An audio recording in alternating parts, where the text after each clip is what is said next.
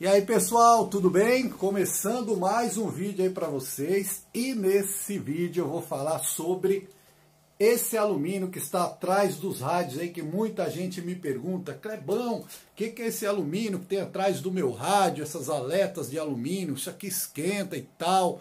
Poxa, eu posso tirar isso? Por que, que no 148 GTL não tem? Eu tenho um 148, não tem, eu acho bonito.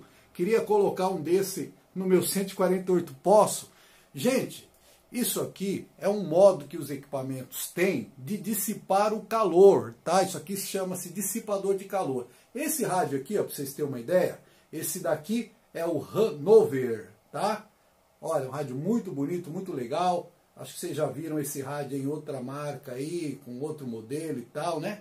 Quem será que copiou quem? Quem será?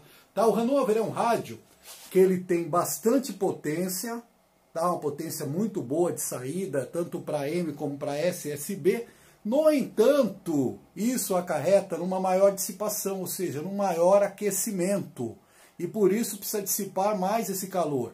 Para dissipar esse calor é utilizado os dissipadores de calor, que são isso aqui, ó. Tá? Essas aletas, essa parte aqui de alumínio, um pouquinho mais grossa, tem um pouquinho mais fina, tem vários tipos de dissipador.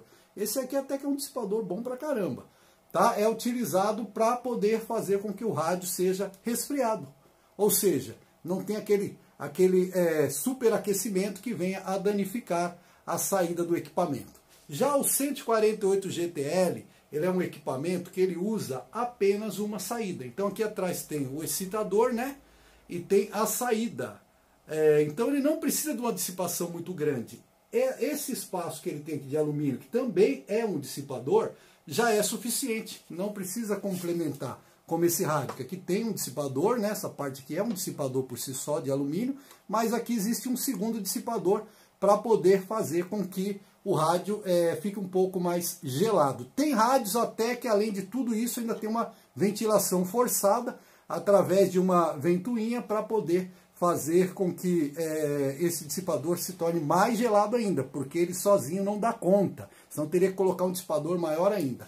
Tá? Já o 148 é tranquilo, usadinho pequenininho também, é, não precisa de um dissipador tão grande. Agora, se você quiser colocar no seu 148 só por enfeite, tudo bem, vai resfriar um pouco mais o rádio. Pode, não tem problema nenhum.